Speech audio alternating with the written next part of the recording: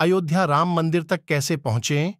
अयोध्या, अंतर्राष्ट्रीय हवाई अड्डा, जिसे आधिकारिक तौर पर मर्यादा पुरुषोत्तम श्री राम अंतर्राष्ट्रीय हवाई अड्डे के रूप में जाना जाता है, एक आगामी अंतर्राष्ट्रीय हवाई अड्डा है, जिसे भारत के उत्तर प्रदेश राज्य में अयोध्या और फैजाबाद शहरों की सेवा के लिए डिज़ाइन किया गया है।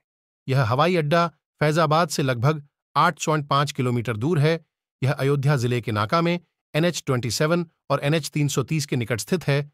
2021 में भगवान श्री राम के सम्मान में हवाई अड्डे का नाम बदल दिया गया था। हवाई अड्डे का उद्घाटन प्रधानमंत्री द्वारा किया गया है 30 दिसंबर 2023 को नरेंद्र मोदी। उड़ान संचालन 10 जनवरी 2024 से शुरू होने की उम्मीद है। लखनऊ में चरण सिंह अंतर्राष्ट्रीय हवाई अड्डा, जो अयोध्या से लगभग 135 किलोमीटर दूर है, भी एक अच्छा विकल्प हो सकता है।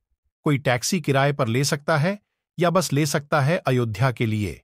अयोध्या सड़क रेल मार्ग से भी अच्छी तरह से जुड़ा हुआ है। भारत के उत्तर प्रदेश के अयोध्या शहर में स्थित अयोध्या जंक्शन रेलवे स्टेशन इस क्षेत्र की सेवा करने वाला एक प्रमुख रेलवे केंद्र है। अयोध्या के भीतर यह दो प्रमुख रेलवे जंक्शनों में से एक है, दूसरा फैजाबाद जंक्शन है। जो भारत के प्रमुख शहरों से अच्छी तरह जुड़ा हुआ है।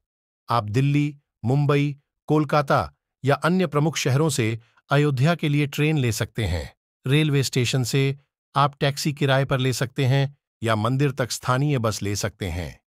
अयोध्या, सड़क मार्ग द्वारा उत्तर प्रदेश के प्रमुख शहरों से भी जुड़ा हुआ है। आप लखनऊ, वाराणसी या अन्य प्रमुख शहरों से अयोध्या के लिए बस ले सकते हैं या टैक्सी किराए पर ले सकते हैं। अयोध्या के लिए आगे और इन्फॉर्मेशन लेना हो तो मेरे चैनल को सब्सक्राइब कर लीजिए, प्लीज़।